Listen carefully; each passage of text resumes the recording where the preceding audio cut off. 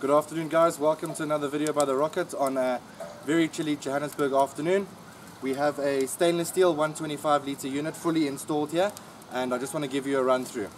We have cold water in over there, we have a SABS approved safety valve here which we recommend.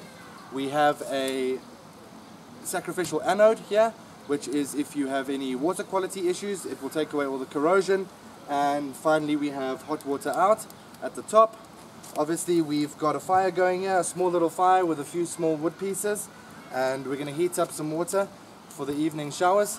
Um, if you want any more information click the link below